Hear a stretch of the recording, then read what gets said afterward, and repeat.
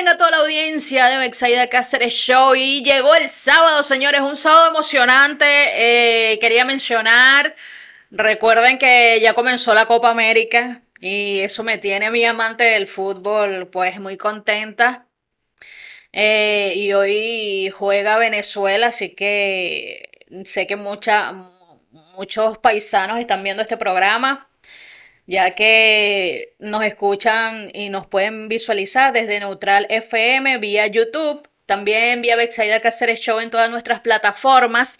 Gracias por estar en sintonía, gracias a todas las personas que me escriben mm, diario preguntando a quién voy a tener de invitado. Pues hoy eh, tengo un invitado bastante especial. Saben que este programa se caracteriza eh, por tener unos invitados de verdad talentosos. Y hoy me acompaña un invitado que todavía no voy a dar muchos detalles, ¿verdad? Porque quiero darle una buena presentación, pero eh, primero quiero saludar a todos los que nos siguen por acá vía TikTok, Betsaida Cáceres Show, que estamos totalmente en vivo. Mm, eh, tengo saludos desde ya, Marieli, saludos, Ana Cristina, este, La Negra también está por allí. Clarisol también está por allí en sintonía desde la www.neutralfm.net. Puedes seguirme en mis redes sociales arroba BC Show Piso Oficial o BC Show Piso Oficial y también Bexaida Cáceres Show, todo pegadito.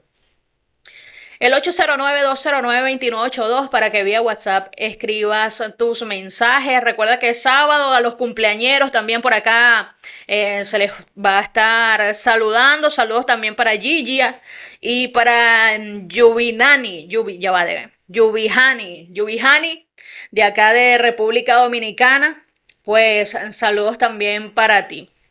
Tenemos un cantante, señores, que estuve viendo los videos y promete. Este hombre de verdad tiene mucho talento, es mexicano, así que ya al, al decir que tengo un cantante mexicano, ya sabemos que hay talento, porque los mexicanos de verdad cantan precioso. Yo no he conocido un mexicano que cante mal, tal vez lo haya, pero yo no he conocido en todos los años que tengo haciendo radio un mexicano que cante mal. Eso de verdad no, no lo creo, no, no, me, no, me, no, me, no me aparece en la, en la cabeza. Así que hoy tenemos una conversación con alguien bastante especial. Se llama Juan José Vega. Juan José Vega, cantante mexicano. Pero primero vamos a ir al corte. Y en breve volvemos con Bexaida Cáceres Show. Recuerda la www.neutralfm para que te pegues allí y disfrutes de esta entrevista. Contenido informativo y de actualidad. Todo lo que pasa en el mundo del arte y el entretenimiento. Lo que te enseña, lo que te entretiene y lo que te motiva está en Neutral FM. Seguimos en Bexaida Cáceres Show. Saludos para Michael, saludos para Cine, saludos Cine, gracias por estar acá en sintonía desde Bexaida Cáceres Show. También por aquí hace acto de presencia Rafael La Antigua. Y bueno, como ya lo había mencionado, tengo a Juan José Vega, cantante mexicano. Hola Juan José, bienvenido a Bexaida Cáceres Show aquí por Neutral FM. ¡Uh! Gracias, gracias. Feliz de estar con, contigo, Betsaida. Este, un placer. Veo que eso está muy chulo, muy bonito. Este, felicidades y gracias. Y es un placer, un gusto estar en estos nuevos espacios, ¿verdad? Eh, donde la música es lo principal, y la farándula, me imagino. Hablaste de fútbol. Ajá. Este, cuidado, ¿eh? Que viene México. Viene México. Viene México. gracias, gracias por, por, la invitación. A ti. Y bueno, un México-Venezuela promete ese partido. Bueno, esperemos que yo soy muy honesta. Yo, a mí me fascina el fútbol desde niña. Soy, pero soy muy honesta. Yo sé que Venezuela de verdad en fútbol, mm, bueno, no la dábamos, no la dábamos y no quiero que, ay, que bien, que... No, hay que ser honesto. Pero pero han mejorado los muchachos y hay que reconocerlo, han mejorado. Entonces estoy orgullosa que han mejorado. Pero cuando se enfrenten contra México, hay que tenerle su respeto a México, porque México es muy bueno en fútbol y no es mentira lo que estoy diciendo. Todos lo sabemos que México es muy bueno. Bueno, sí, en, las, en la Copa América ha tenido buenos papeles. En la del 93 llegó a la final con Argentina y dejó después de asistir, pero son temas más de política y demás. Pero siempre México, lo que son estos eventos internacionales, eh, ha dado muy buenas satisfacciones. De verdad que sí. Eh, pues ya, vamos a arrancar con, vamos. este torneo. esperemos, esperemos enfrentarnos más adelante. Claro. Eh, nos... va, nos va a llegar la hora de enfrentarnos con México. oye, ¿y, tu futbolista mexicano favorito? Bueno, ya no está, pues ya Cuauhtémoc Blanco era uno de ellos. Este, actualmente hay muchos buenos. Está eh, el Irving Lozano, de, que juega en Europa, eh, Raúl Gutiérrez, este, pero bueno, la verdad es que ahora mismo son mucho jóvenes. Así es, sí. Está, Vela, que no lo que Carlos Vela, que, que, es un jugadorazo, pero pues no le gusta ir a la selección, ¿qué hacemos? Oye, y vamos a aprovechar de saludar a la gente de México que está en sintonía. Gracias. que están en sintonía, que están apoyándote. Sí, no, y mi familia en Canadá también, en Estados Unidos, o sea que tenemos hoy una audiencia internacional. Así es. Vamos a comenzar Juan José Vega Núñez. Juan José, cantante mexicano, como lo había dicho al comienzo. Ese, ese, ese don de la música, ¿cómo influyó? O sea, de, dónde, de, vino, ¿de dónde vino esa pasión por la música, por el canto? Es algo que he comentado, este, un tema totalmente innato o de manera natural, nacido desde, desde las entrañas, cuando con mi padre, que fue un artista de tríos, de, música de boleros, eh, estuvo en muchos tríos importantes en México, uno de ellos, o de los más importantes, el trío Los Panchos. Y cuando ya voy eh, creciendo, me voy dando cuenta que, que ya cantar es de manera natural. A los cinco o seis años mis tías me ponían en la casa a, cantar en las fiestas.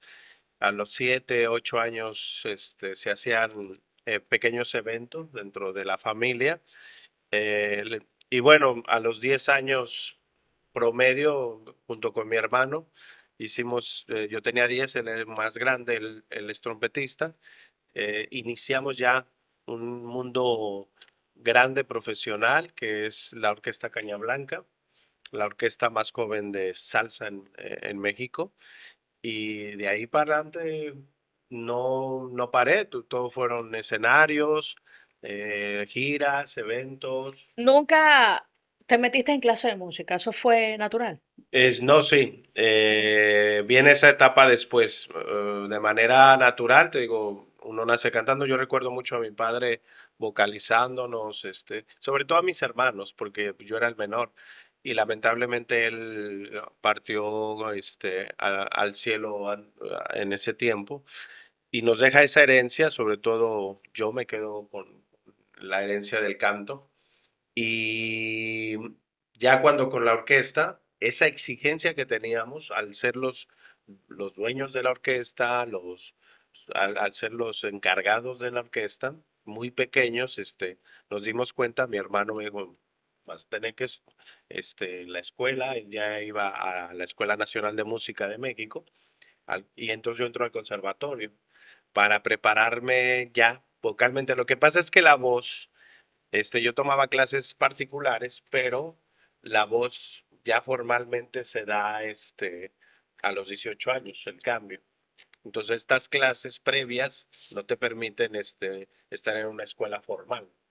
Esto, esto yo tuve que esperar, tomar mis clases antes de entrar a la escuela y ya a partir de los 18 años, este, formalmente a los 17 ya tú puedes ingresar porque ya el cambio de la voz se da total y ahí fue que ingresó al conservatorio. Eh, yo cantaba, estudiaba ópera también y claro, este, eh, escuela de música, toco piano, toco percusión, pero lo mío es la voz. Muy bien. Desde pequeño, desde los cinco años, ¿qué género fue el que te dijo, este, con este me siento identificado, esta es la música que me gusta, eh, me siento cómodo cantándola? ¿Cuál género fue? Sin lugar a dudas, el bolero. El bolero, nací con, con la música de bolero porque pues mi casa estaba llena de, de grandes discos de bolero por mi padre. Este, imagínate, yo crecí con los Dandy, los Tres Haces, eh, los Panchos, eh, música trascendente a, esos niveles. Y le, además también esos tríos muchas veces le llevaban serenata a mi madre. Después que mi padre se fue, o sea, que, que partió con, al cielo, este, mi madre recibía detalles de, de, estos grupos, de grandes amistades de mi padre, y mi, mi, niñez fue así. Pero ya cuando formamos la orquesta, este, bueno, también tengo que decir que la música mexicana, este, el mariachi, por supuesto, la, la música ranchera, pues de niño, por ejemplo, creo y sin lugar a dudas, la canción que más he cantado en mi vida ha sido La Viquina. Oh. desde niño es un tema que, que, yo tengo en mi repertorio, porque es un tema que ha ido, que, he crecido o ha crecido conmigo. Este, porque canto mucha balada, mucha música ranchera, pero ya en la esencia de la salsa, este, se da porque en ese tiempo, en los finales de los ochentas, eh, la salsa estaba como en ese boom a nivel mundial, este, la salsa romántica, la salsa erótica, este, y por supuesto en México, es un país muy cosmopolitan, una metrópoli bastante grande, la Ciudad de México, si no es que la más grande del mundo por muchos años. Y llegaba todo este estilo de música, entonces la salsa nos, nos arropó. Mi hermano toma la decisión de armar la orquesta y ahí arrancamos. Bien, nombraste La Viquina, que oye, es tremenda Tremenda canción, tremenda música. Las rancheras, que mencionar un cantante mexicano, lo primero que se viene a la mente es la música ranchera. Y, y sobre todo la forma, o sea, cómo, cómo cantan la ranchera. Ah, o sea, eso es algo como que es, un patrimonio. Es un, algo, o sea, la música ranchera es México. Así de sencillo. Sí, mira, eh, tengo un tema con eso porque hay gente que, y lo voy a decir claramente porque siempre lo, expreso, por ejemplo, el traje de charro. Bellísimo. traje de charro, este. Bellísimo. Eh, portarlo, eh, saber cuando, cuando tú estás ejecutando. Este, a mí, de verdad, me ha tocado lamentablemente este, ver que la gente tiene su desconocimiento, porque mucha gente que se viste de, de mariachi o de charro, en este caso, que es el, el nombre es traje de charro, aunque seas parte, ya el mariachi es el, la agrupación. Entonces, este, de verdad, de verdad, eh, se, se, perdona por, porque se entiende que es desconocimiento, pero utilizar un traje de charro es como eh, utilizar un traje militar para nosotros. Entonces, quien porta un traje, cuando yo lo he portado con mucho orgullo, yo no lo porto siempre porque mi corte de artista este, e, es como me ves, o sea, una, un aspecto más eh, general, porque al que, aunque yo canto de todo, este, en los shows, pues lógicamente ya tengo una personalidad. Pero sin lugar a dudas yo he portado mi traje muchas veces. Este, y cuando veo que lo utilizan y, empiezan a, utilizarlo de, manera que... Como, como de burla. Algo así. Como mm, no tanto la burla, sino lo utilizan este, sin conocimiento de, de lo que se está haciendo, de portarlo. Muchas veces se parten los chicos y piensan que eso es lo normal. Este, y bueno, sí, podría caer ahí la parte que comentas, pero es lamentable, es lamentable que cuando tú haces, por ejemplo, yo canto salsa. ¿Qué he respetado de la salsa? Todo porque la salsa no es un ritmo de nosotros, es un ritmo, aunque es más mundial, que no se le se ha dado esas controversias, hay que reconocer que la salsa, o sea, mi salsa empezó a, sonar este, con más características a partir de, que yo llegué al Caribe. O sea, yo hacía salsa y, y, muy buena en México, pero tengo que reconocer que mi carrera de solista, que arranca acá, este, empieza a tenerse estos toques eh, más reales, ¿no? Este, naturales de los boricuas, de aquí mismo, de, de los dominicanos, de los cubanos, de ustedes este, en Venezuela también, en Colombia, que, se hace muy buena salsa, pero hay que darle lugar. Este, sin lugar a dudas, aquí, eh, por ejemplo, Johnny Pacheco, yo todos mis amigos aquí en, en Dominicana, que que me permitieron ir formando. De hecho, mi arreglista es venezolano. Este, aunque yo trabajé, he trabajado aquí con los grandes arreglistas como Ramón Orlando. Este, tengo música también de Mario Díaz, que es un compositor muy importante acá que le hacía música a Gilberto, a Celia, a todos los grandes de la salsa. Entonces, yo entiendo que si vas a hacer eh, la música, aparte tienes de, respetar las esencias, que es lo que hemos hecho, mejorarlas, aportarle, y eso es lo que a mí me ha encantado hacer.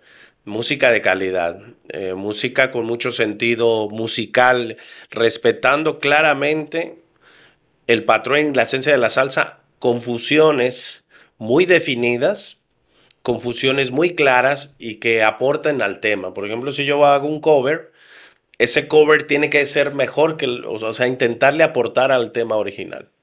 Entonces, me sucede que para el mariachi lo han agarrado, como dices, este, eh, muchas veces como nada más que, el, que el mariachi ahí, que la guitarra, que, o sea, señores, este, pues con la pena, pero que eso no es la música mexicana, este, no se confundan. Eh, como tú dices, eh, yo mismo al interpretar un tema, este, pero la gente, aquí lo bueno es que tampoco la gente la engañas. La gente sabe. Lo que pasa es que mucha de la gente, este, muchas veces en las fiestas, pues es un relajo y, pasa esos temas desapercibidos. Pero la gente que conoce, escuchándote a ti hoy expresarte, o sea, es verdad. Este, a mí, por ejemplo, eh, cuando aquí yo canto un mariachi, o sea, no hay nadie que me, que me haga sombra en eso. Nadie.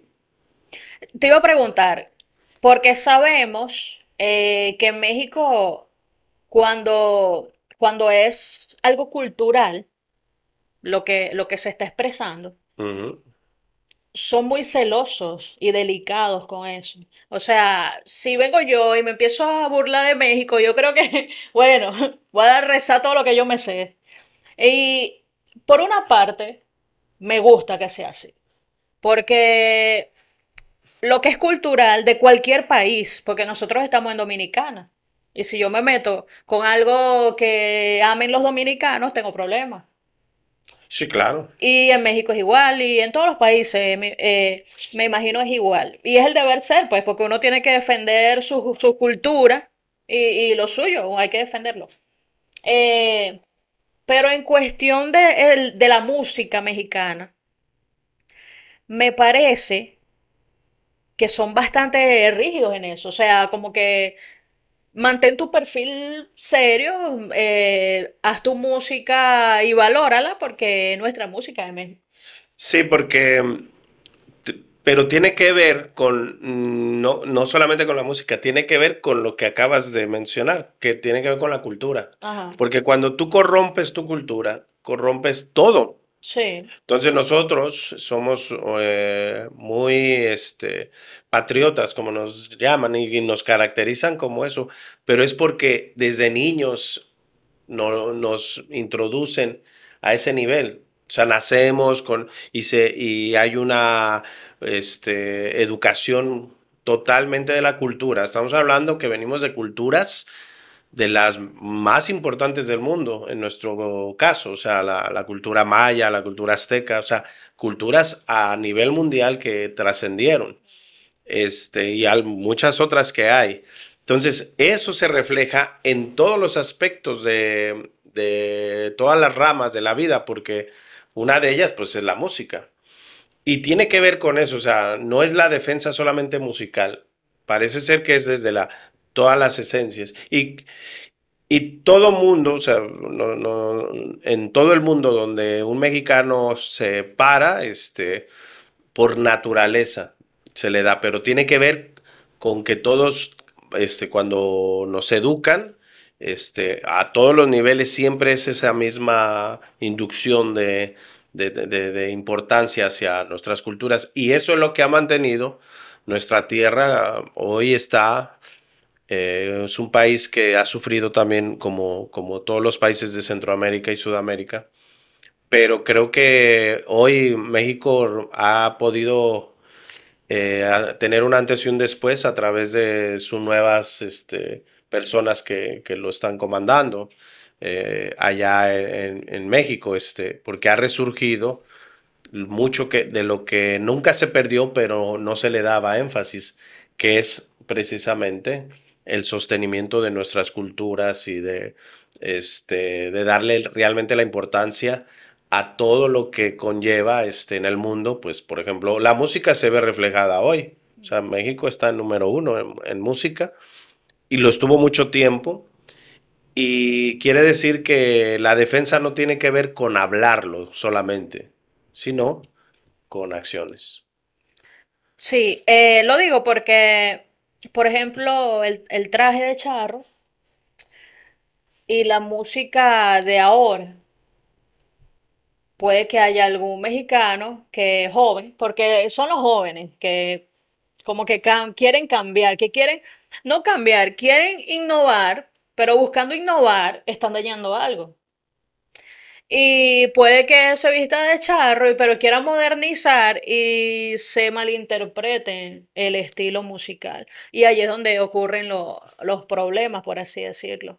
Y más la música que hay ahora, que de verdad tengo que decirle música por respeto a esas personas que consideran que hacen música. Eh, pero la están dañando, pienso yo. Eh, bueno, el, de México, o sea, los, que hacen música em, de, México moderna, entiendo que mantienen la esencia, aunque es moderna y eso está bien. O sea, mantienen los instrumentos. Este, me parece bien que, ellos en su, off, en su outfit este, puedan no está, eh, yo no he visto a nadie que, eh, de México que juegue con el traje o con la vestimenta. Mm. Eh, lo he visto afuera, o sea, gente que, que, les, que, que, hace videos, que pone a un mariachi tocando cumbia o que pone, o sea, una loquera. O alguien que sencillamente le guste la música mexicana. Ay, a mí se me da bien cantar mexicano. Por ejemplo, yo, ay, a Bexaida le, le va bien cantar mexicano, entonces me empiezo a vestir como mexicano, empiezo a cantar. Y ya allí la cosa como que o lo hago bien, con respeto, o no lo hago. Sí, porque, o, o, si, o, apórtale.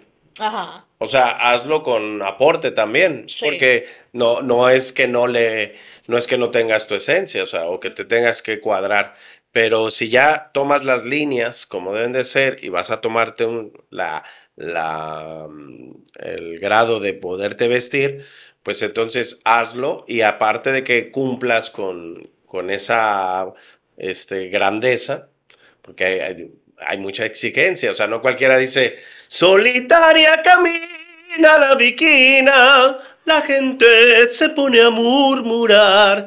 Dicen que tiene una pena. Dicen que tiene una pena que la hace llorar. O sea, no cualquiera mantiene todo lo que conlleva esas líneas melódicas, Sí. ¿no? Entonces, apórtale, si tú le aportas y aparte cumples, este, pero es, es una cuestión de opinión. Al final, esta es libertad y sobre todo en la música, pero sí, en un escenario, este, a, eh, a mí siempre me verán, este, haciendo música de calidad, este, música para la gente que le gusta eh, la buena música y lo demás, este, pues al final es libre, ¿no? También. Háblame de tus temas musicales, que vi esta mañana varios videos. Oye, el primero, bueno, yo porque lo tengo aquí en el teléfono y si después me salgo del directo, pero el primer tema que me mandaste, el primer video, al comienzo, o sea, por lo, por el tono musical, se, se me parecía a Carlos Vives. Sí, No sé si te lo han dicho. sí, te- eh, bueno, lo que pasa es que precisamente logramos eso. eh, hubo un momento en mi carrera que, eh, que entró muy fuerte el tema urbano, este, y la tendencia era que las letras estaban muy, eh, muy mal. Y yo no sé si recuerdas que, que ya la gente estaba atacando demasiado el, el género urbano por eso, aunque siguen, pero nunca me he metido en ese tema, pero al contrario de eso, lo que dije, bueno, vamos a hacer música también de ese estilo, pero considero que se puede hacer con calidad. Entonces, ese tema es un es una música urbana latina este tiene un- una fusión de ritmos muy latinos. De hecho, el videoclip se grabó en Miami, en esos momentos del boom del reggaetón y de toda esta música actual. Eh, pero sí hicimos una gran fusión de instrumentos. El tema se llama Pa' que me quieras. De hecho, tengo que decirlo, es de un venezolano. Este, me lo escribió él. Este, él, él radica creo que en, en otro país de Sudamérica y me lo envía y cuando oímos la, el estilo, mi arreglista que también es venezolano, dice esto me suena como vamos a hacer algo muy, muy moderno. Entonces eso es lo que escuchaste ahí, hay, hay, ahí tiene un poco de reggaetón, tiene un poco de vallenato, ¿no? Este, muchos metales y la letra es bellísima. Entonces, eso fue lo que quisimos mostrar, que también se puede, eh, me decían en Miami, bueno, es un tema de hecho que estuvo en, en HTV como número uno, y me decían, lo que pasa es que tú cantas bonito, este, está como muy cantado, y la música urbana no se acostumbra a, a- a escuchar así, o sea, como que siempre es el mal hablar o mala dicción. Pero este, no, yo le dije, pues para mí, pero yo prefiero que te quedes así como tú estás no, no, no, nunca lo haré. Nada de mala dicción, No, jamás. ni nada de eso, por favor. Este, porque de verdad, yo sé que, bueno, ya estamos en, el auge de la música urbana. Lo que, lo que yo no tolero es que tengas que decir de 100 palabras, 90 obscenas. No. O sea, tienes que entender que si uno va a una discoteca, uno quiere disfrutar, uno quiere bailar, pero oye, o sea, no hace falta. Para hacer buena música no hace falta decir 500 groserías. De verdad que no. Yo he escuchado música que ni una y ha sido excelente. Y eso es lo que, lo que se le quiere a los cantantes. Eres cantante, oye, demuestra que eres cantante, no vulgar, porque vulgar es una cosa y cantante es otra. Cantante con su equipo de trabajo, su agrupación, sus instrumentos, su vocalización. O sea, canto, no cualquiera canta, porque si no yo fuera cantante también. Eso, a eso es lo que, a, eso es lo que voy. ¿Tú quieres sentarte aquí y decir que eres cantante? Oye, pero sé un cantante. O sea, eh, haz una orquesta buena, canta bien, modula bien. No tienes problemas para modular, métete en tu colegio, haz tu cursito, haz algo, ayúdate para que des lo mejor, porque va a haber personas que van a ir a comprar tu boleta, tres mil, cinco mil, diez mil, veinte mil pesos, pero yo quiero pagar veinte mil pesos a escuchar un cantante, no a escuchar a alguien que me va a decir 40 groserías. No, Bueno, no sé, yo ahí no me meto mucho porque la verdad, o sea, no hablo más no, no, no hablo de nadie. Sí, se le respeta, pero, pero sé que pueden dar mejor, mejorar. Sé que pueden mejorar. Lo que sí creo, este, y lo hago, este, de mi parte, siempre haré buena música. Siempre tendrán en mí una opción. Y creo que ha sido buena siempre, este, siempre la gente me busca en internet, este, en otros países eh, mi música camina bastante bien. He ido a conciertos, a, presentaciones a otros. Eh, he tenido la oportunidad de visitar muchos países. Entonces, y aquí este, sigo ofreciendo en mis shows este, eso mismo. Siempre va a haber buena. O sea, considero que la única forma de, de, combatir ciertas circunstancias es ofreciendo, teniendo que la gente tenga la opción. Pues si no la tiene tampoco, si nosotros los que hacemos este, un estilo de música como pudiéramos llamarlo de, calidad, porque para otra, música, para otra gente podría ser diferente, pero hay, pero hay que seguir, de mi parte siempre seguirá habiendo producciones, siempre seguiremos este, dando ese tipo de calidad a la gente, de, para que tenga la opción, porque de otra manera, este, pues decir, decir que una cosa u otra es mejor, este, definitivamente eso ya en esta apertura, además con los medios digitales y todo lo que aperturó el Internet, pues es este, imposible, pero sí ponerle a la gente la opción de que, que pueda caminar eh, su oído de mejor manera, ¿no? Sí, o sea, que, que, él está de acuerdo con lo que yo digo, pero él colorea las cosas, ¿eh? Yo soy más directa, pero él colorea las cosas. Está bien, está bien, está bien. Yo quedo aquí como la mala. Yo quedo como la mala, está bien. Bien. Juan,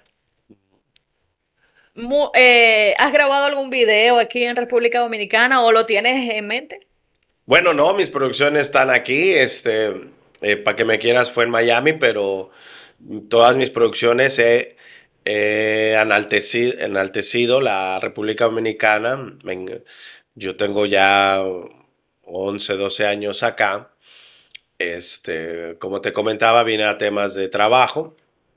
Y cuando veo que ya me voy a, a establecer aquí, este, empiezo a hacer las producciones acá y sí, mi carrera definitivamente de solista arranca en República Dominicana y tengo que decir que sí he aprovechado este, pues toda esta belleza natural que tiene la República Dominicana, sus playas, sus ríos, o sea, mis videos están hechos acá.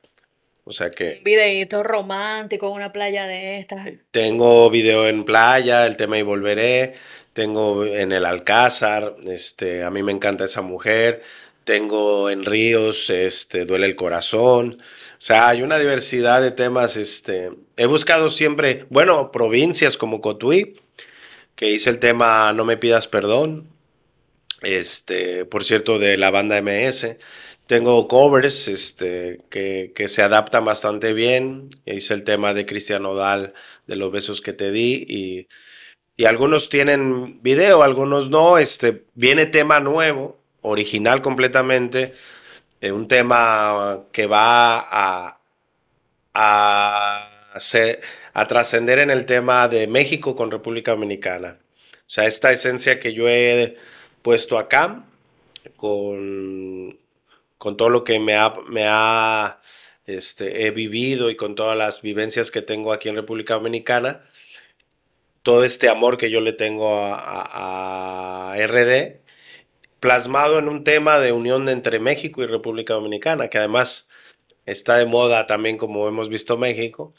Y el maestro Mario Díaz, que te comentaba que le, un compositor de gran esencia, este, de gran trascendencia a nivel de la salsa, eh, con grandes artistas como Gilberto, Frankie Ruiz, Celia, Oscar de León, eh, etcétera, este, me hizo este tema, yo le conté que era lo que quería y logramos el tema Cruce de Banderas, que habla precisamente de mi amor y del amor este, recíproco que hay entre México y República Dominicana. Entonces ahí ocuparemos en este videoclip pues todas las esencias del país, ¿no? Y también de México. ¿Y cómo ha sido la receptividad de Dominicana contigo? Siempre ha sido buena, siempre tuve, he tenido, eh, de yo he estado en los mejores escenarios de aquí, en todos los escenarios, en los medios de comunicación, eh, en las presentaciones, no por nada, me, me va muy bien. Eso. O sea, eh, pero ya eso es, siempre lo he dicho, algo que me hizo quedarme en el país es su gente. Este, es- la gente es muy, muy amable, muy noble, este, le, le encanta la música. Y puedo decirte claramente que, que me ha ido muy bien. Este, tengo que reconocer que mi carrera como solista fue aquí que, que despegó y todo el trato que he tenido. Y bueno, también este, tengo que decirlo, ahora ustedes, eh, también mucho de venezolano que llegó aquí al país, este, me han, como hoy que tengo la dicha de estar aquí contigo, que te agradezco, este, también en otros espacios, este, donde hay gente de tu, eh, paisanos tuyos, que también, este, ah, me han apoyado bastante en, en este tema de los medios. O sea que también hay gente muy buena de, de Venezuela haciendo bastante trabajo en los medios y tengo que decirlo, este, han aportado también a, al crecimiento, ¿no? O sea, de la exponenciar, exponenciar mi música también. Sí, bueno, eh, como lo había mencionado en oportunidades que en Venezuela yo comencé radio a los 20 años. No voy a decir qué edad, qué edad tengo, porque ya llegué a la edad que no digo la edad. Entonces, lo que pasa es que me veo jovencita, eso, gracias. Dios me bendijo, que me veo súper joven. Qué bueno. Pero sí me, en Venezuela obviamente entrevisté cantantes, entrevisté infinidad de personas, políticos también. Y aquí pues quería seguir haciendo radio. No obviamente como en Venezuela, que era señal abierta, tú ibas en tu carro y me escuchabas y todo eso, pero vamos trabajando para eso. Como, como todo, todo el que llega a otro país tiene que trabajar mucho hasta que por fin pueda lograr los objetivos. Que, que eso me, me comentabas antes de, empezar el programa, que uno primero empieza tocando todas las puertas y, y trabajando fuerte hasta que por fin ya, ya reconocen que eres un buen músico, ya reconocen tu, tu talento y pues ya las cosas comienzan como a fluir más, a ser un poco más, mm, eh, más tranquilas eh, y se logran, se logran lo, lo que se quiere. Me encanta el, el estilo de música y la variedad de, de tu música. He entrevistado venezolanos aquí. Eduardo Márquez, que cantó el viernes, me invitó, me dio la entrada y todo. Eduardo, ¿dónde está Eduardo? Eh, disculpa que no pude estar en tu presentación. Bueno, nuestro operador lo vio, Eduardo, excelente cantante también, salsa, bolero, de, todo.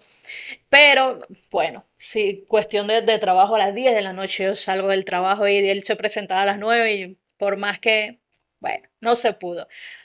Pero me encanta tener ese apoyo, o sea, poder apoyarle en lo que pueda a todos ustedes, a todos los músicos de todos los países que puedan acercarse aquí al programa y compartir un rato de las experiencias, de sus proyectos, de todo lo que han hecho, en- sobre todo aquí en República Dominicana.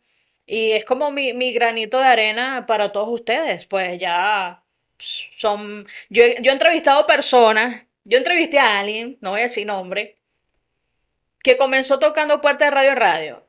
Y la, la primera persona en esa radio que lo entrevistó fui yo, pero y ahora ya tiene un nombre saso. Solo que, bueno, hay personas que se olvidan también de, de quienes los apoyaron. Eso está mal. Pero son cosas, uno conoce de todo un poco y hay que, hay que ser humilde, hay que este, si tengo que ir para allá, una entrevista voy, me doy a conocer. Las personas que ven e- esta radio no es la misma que ven otra radio y así, te vas dando a conocer por todas partes. Y eso es lo importante, que, que la gente sepa de, de tu música, de tu talento y lo que tienes para ofrecer.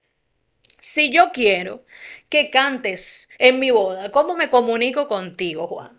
Ah, Eso es muy fácil. porque eso, eso es importante. Porque hoy es sábado, señores. Hoy es sábado y hay pachanga esta noche. Claro, no, eso es lo más fácil de Ajá. ¿Cómo te localizas? que, que para te- estar localizados y más para ese tema. Ajá. Bueno, ahí está César Vázquez que está, César. que está haciendo la producción ahí. Este, con él eh, tenemos los números en, la, este, en las redes sociales, que por cierto hemos sido premiados también en temas de redes sociales. Eh, he sido salsero del año en, en redes sociales, en premios Conga de la salsa. Y tenemos los canales, está el canal de Juan José Vega en YouTube, eh, el Instagram Vega Juan José 13, Vega Juan José 13 en el Instagram, como dice, ¿cuál es mi cámara?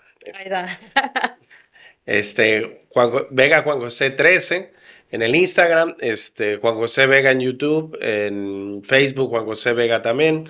No hay ciencia para eso. en- estamos en TikTok eh, cantando, por supuesto, no haciendo nada.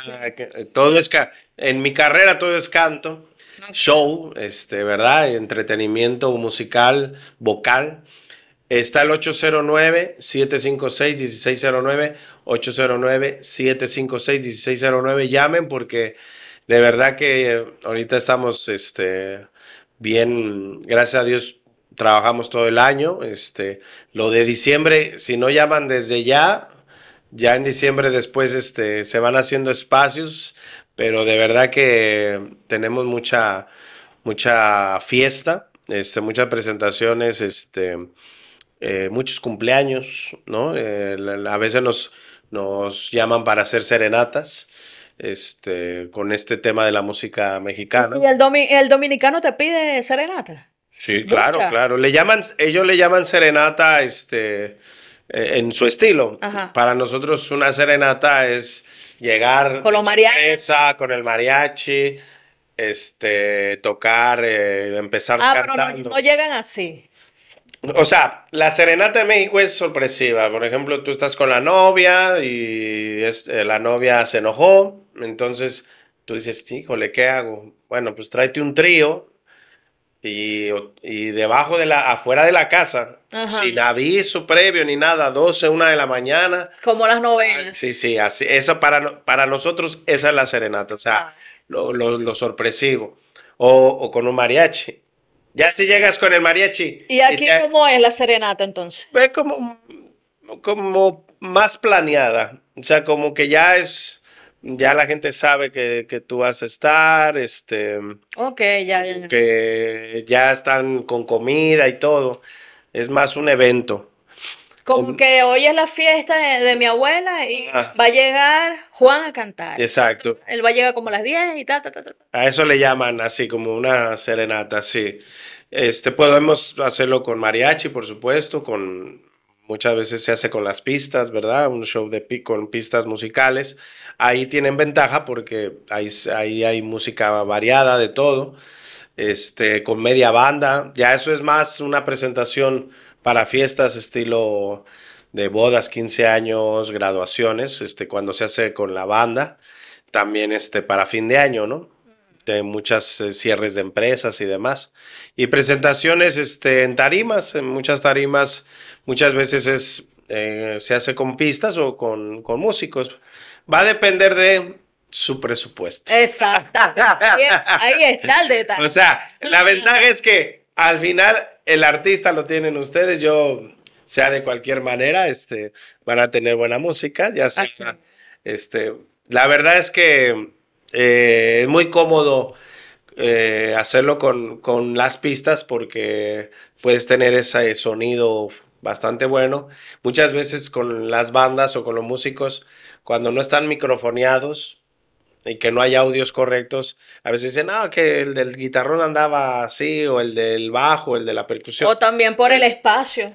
Sí, son muchos músicos. Entonces tiene que ver con los espacios. Este, normalmente cuando nos eh, César se encarga de todo eso, este, de, de todo lo que es la logística, cuando va a ser con banda, el, el audio, este, tiene que ser el audio correspondiente para, la, para el tema de la voz, de, de los instrumentos. Entonces, llamen que se le busca la vuelta, como dicen aquí. Bueno, ya saben, pueden contactar a, a Juan. Excelente tu participación, Juan.